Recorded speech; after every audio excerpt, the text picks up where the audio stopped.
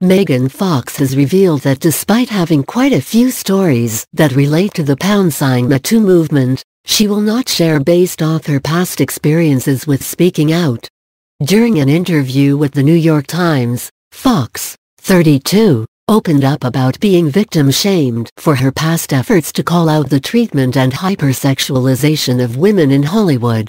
The former Transformers star stirred controversy more than a decade ago after saying director Michael Bay, who Fox compared to Hitler, commanded her to just be sexy and be hot on set. Fox also spoke out about being sexualized in Bay's 2003 film Bad Boys 2, where she danced in a bikini and high heels under a waterfall when she was only 15. I just did what I was told to do. Fox's revelations would have likely been met with a different response nowadays compared to what she received in 2009, where the actress was ultimately fired from the Transformers franchise after two films for her remarks. Related, Megan Fox says women's roles still revolve around an egg, trophy, escort tropes. I was ahead of my time and so people weren't able to understand, Fox told NYT. Instead, I was rejected because of qualities that are now being praised in other women coming forward.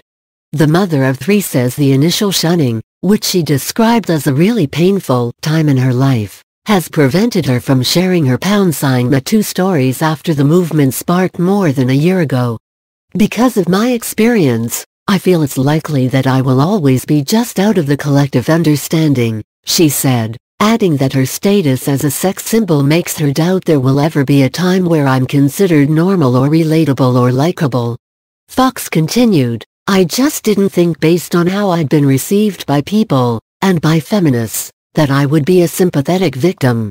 I thought, if ever there were a time where the world would agree that it's appropriate to victim shame someone, it would be when I come forward with my story. Fox shifted away from acting to pursue her passion for antiquities, returning to the small screen in the new Travel Channel series Legends of the Lost.